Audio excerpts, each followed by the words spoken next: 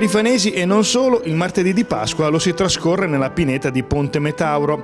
Come ogni anno si tiene qui la festa della Madonna del Ponte in onore di Maria Venerata nel santuario del Ponte Metauro, trascorrendo il tempo tra un pranzo al sacco, una pesca di beneficenza e momenti di preghiera. Tantissima gente è arrivata come sempre sin dalle prime celebrazioni del mattino in questo luogo di raccoglimento e di spiritualità palpabile. Anche chi ormai dovrebbe essere assuefatto a questo fiume di devoti, come il parroco Don Antonio Biagioli, rimane ancora incantato per la venerazione di questo posto. Cambiando la vita e anche le generazioni, questa festa poi pian piano si sbiadisca e perde un pochino il suo senso, invece non è così. Io per dire da questa mattina abbiamo cominciato ininterrottamente messe un'ora dopo l'altra, è stato pieno di persone, ma pieno, nonostante l'inclemenza del tempo e sono convinto che anche questa sera quando verrà il Vescovo non sapremo proprio dove mettere la gente. Insomma, non tutti i posti sono uguali, mica è vero che tutti i posti sono uguali.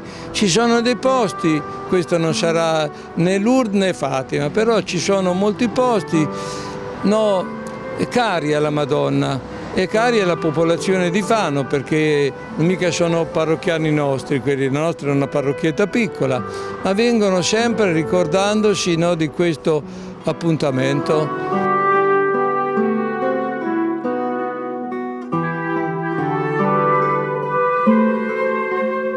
Eh, mi piace tutto, quindi... Quindi non viene solo per la festa? No, no, io ci sono sempre, tutte le domeniche. È un bel luogo, un bel... Eh, sì che con Don Antonio abbiamo un buon rapporto. La festa è la festa un po' di tutti voi? Eh, sì, certo.